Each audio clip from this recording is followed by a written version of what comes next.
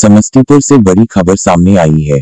सरपंच पति सह राजद नेता की गोली मारकर हत्या एवं उनके पुत्र को गोली मारकर किया जख्मी, मिली जानकारी के अनुसार मृतक की पहचान समस्तीपुर जिला के सिंघिया थाना क्षेत्र के माही गाँव निवासी सरपंच गौरी देवी के पति सह राजद नेता अरुण कुमार सिंह बाइक से खेत को देखकर घर के समीप पहुँच ही रहे थे।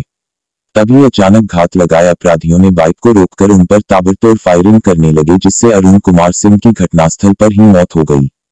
गोली की आवाज़ सुनकर अपने पिता को बचाने के लिए उनके पुत्र मानस कुमार पहुँचे तो अपराधियों ने उन पर भी फायरिंग करना शुरू कर दिया। स्थानीय लोगों के द्वारा सामुदायिक स्वास्थ्य केंद्र में भर्ती कराया, जहाँ डॉक्टरों ने गंभीर अवस्था देखते हुए मानस कुमार को डीएमसीएच दरभंगा रेफर कर दिया। मृतक के परिजनों का कहना है, पड़ोसी द्वारा शराब का धंधा किया जाता था। शराब धंधा का विरोध करने पर घटना को अंजाम दिया है। हालाँकि पुलिस द्वारा अपराधी की गिरफ्तारी के लिए छापेमारी की गई थी, लेकिन अपराधी घर छोड़कर फरार है। मौत की खबर सुनते हैं, सामुदायिक स्वास्थ्य केंद्र सिंघिया परिसर में सैकड़ों ग्रामीण आक्रोशित होकर भ्रष्ट दरोगा मुर्दाबाद का नारा लगाने लगे और सिंघिया चौक पर सड़क जाम कर प्रशासन के विरुद्ध नारेबाजी की, वहीं तनावपूर्ण स्थिति देखकर ज़िले के कई थानों की पुलिस पहुंचकर गाँव में कैंप कर रही है। रोसड़ा डीएसपी अरुण कुमार दुबे घटनास्थल पर पहुंचकर जायजा ले रहे हैं। डीएसपी अरुण कुमार दुबे ने कहा कि सरपंच पति की हत्या हुई है और उनका पुत्र को गोली मारकर जख्मी किया गया है और गंभीर अवस्था में डीएमसीएच रेफर किया गया है। अनुसंधान किया जा रहा है। अपराधी की जल्द गिरफ्तारी होगी। वहीं मृतक के परिजनों का रो रो कर बुरा हाल हो रहा है।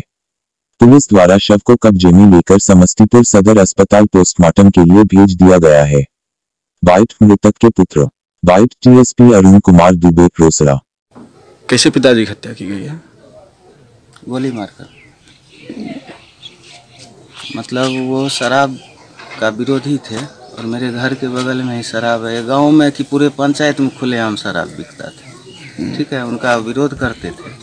रात में विरोध किए और सुबह में सब मिल करके जो शराब कारोबारी है साजिश के तहत मिल करके वो खेत से आ रहे थे। घेर करके उनको गोली मार दिया उनकी हत्या हो गई।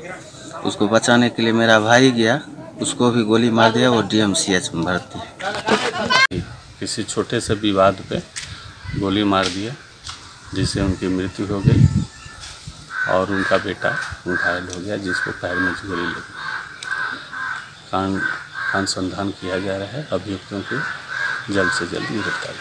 अपराधी की सर पहचान हो पाई है सर? हाँ पहचान होगी